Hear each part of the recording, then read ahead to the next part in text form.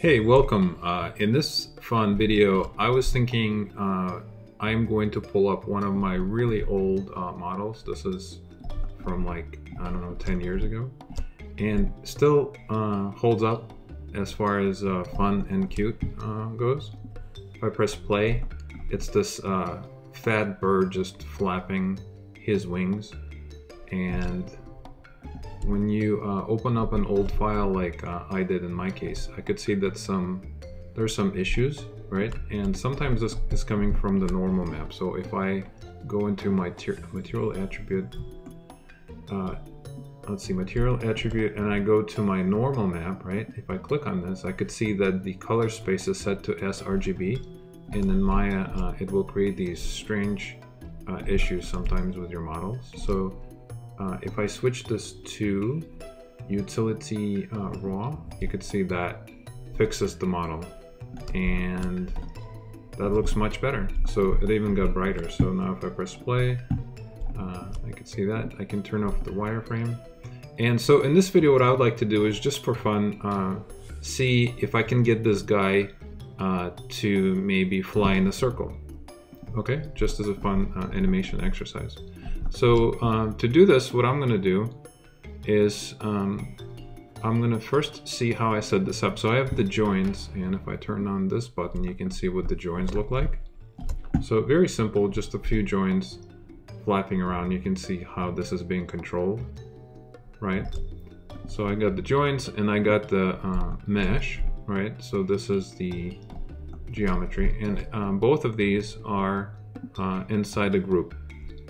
So if you have something like this for your experiment, um, if you have a simple model that you want to set uh, on a circle, maybe a flying or gliding, butterfly, whatever, um, if you have joins and your mesh in the main, uh, you know, in the outside of the timeline, you can just select both of them and press Control G, and that will, uh, you know, put a nice group for you. So then you can name it whatever you want. So maybe in my case, just for fun, I can call it Fat Bird. Uh, just for fun. Uh, and so what would be the very first thing for me to set this, um, you know, to start thinking about the animation? Well, the first thing I would like to do is go to create and create a locator. Uh, we're gonna find, we're gonna run into a few issues. I wanna show you uh, why, right? So if I take, for example, my uh, bird and middle mouse drag it inside the locator, um, and then I attempt to move the locator. Now let's say I want to change the position. You can see there's some really funky stuff going on. The joins and the mesh are literally being separated. And the reason that is happening is because um, the mesh needs to be outside of the locator because the joins are controlling the mesh and the locator is control controlling the joins, but you don't want the mesh to be controlled by the locator. So if you um, middle mouse drag the mesh out of your uh, setup here, right? Now, if I take the locator and I attempt to uh, move it, you can see that it's actually working really nice. So I can even play my animation and change the position or the location of my bird anywhere in time in space and it's it's gonna work uh, really nice. So as long as the mesh is outside of the locator, um, then it will work. Another thing that I want to point out, uh, and this is coming from uh, experience, is if you ever wanted to change the size of your bird, let's say it's you know it's too large. So let's say I want a little bird. So I want my bird to be this big. Well, as soon as you do that, um, you change the scale and even if I attempt to freeze my uh, location, which is not going to work, Maya's going to freak out. Um, here's the thing: if you ever export this out into another game engine, or even you know um, something like Blender or um, some some other applica application, there's a really good chance this is going to blow up and not work well.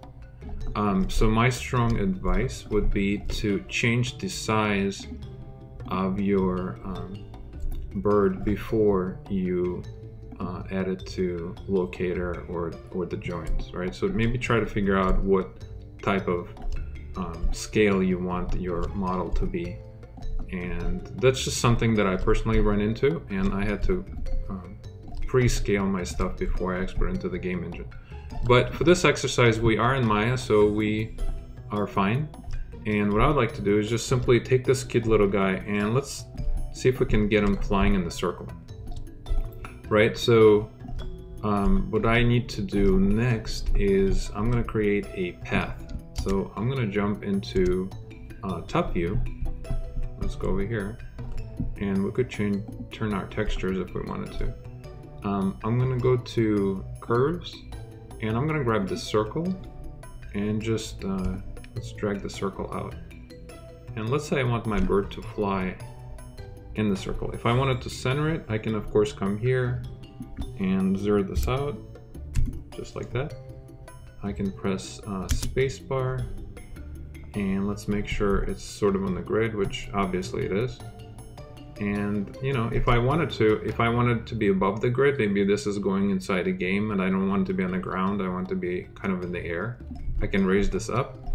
And next, let's go ahead and see if we can take our locator um, hold down the shift key and select the path or the curve. And then I'm gonna go to animation, go to constrain, uh, let's see, motion path, and let's do attach to motion path. All right, I'm gonna press spacebar to go into my perspective view here. And now if I press play, technically he should be uh, going around in the circle which he is, and he's definitely doing it way too fast. So let's uh, see if we can figure this out. Another thing he's seemingly doing is going backwards, right?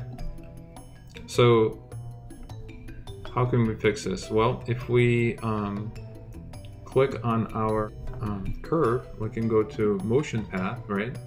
And in the motion path, um, in here we have something called inverse front.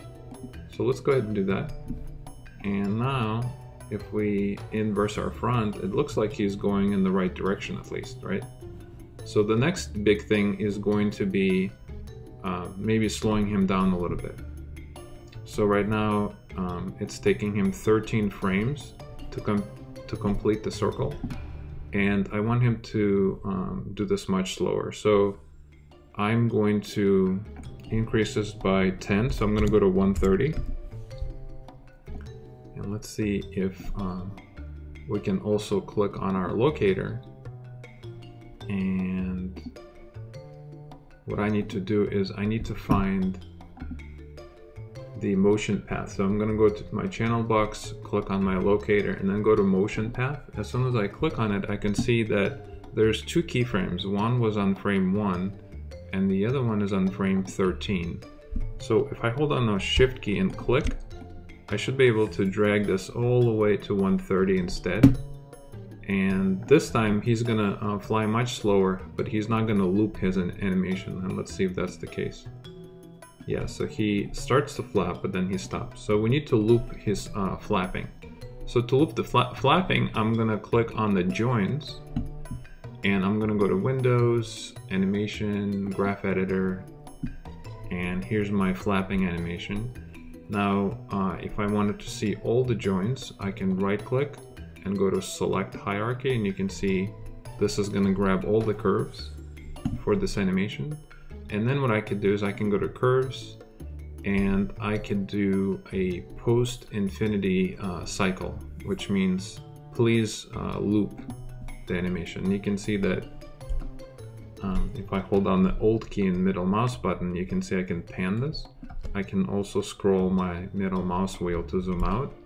And as you can see, I'm trying to show you that the curve has been repeated or looped, right? So now if I press play, the bird should be flapping around. Now he looks like he's increasing and decreasing the speed. All right, so to fix this, what I need to do is I'm gonna click on the locator and the locator has the motion path, which is from frame one to frame 130. And as you can see, it's kind of easing in and easing out, or I guess easing out, easing in. So let's go ahead and make this line uh, to be a linear line instead. So to do that, I'm just gonna click on this button here and you can see my motion path has changed to a straight line under my locator. And now if I press play, my bird should be consistently flying in the circle. So let's go ahead and go to, and let's go ahead and hide everything and let's only show our uh, bird and I'm even gonna hide the uh, the grid and if I press play you can see that he is flying around the circle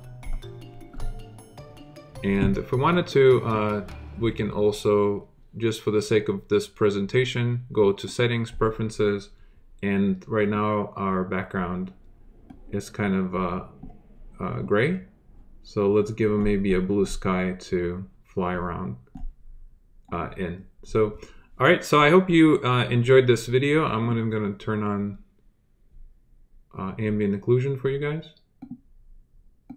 And there we go. Very cute. All right, thanks for watching this video. I hope you enjoyed it, and I will see you next one. Bye-bye.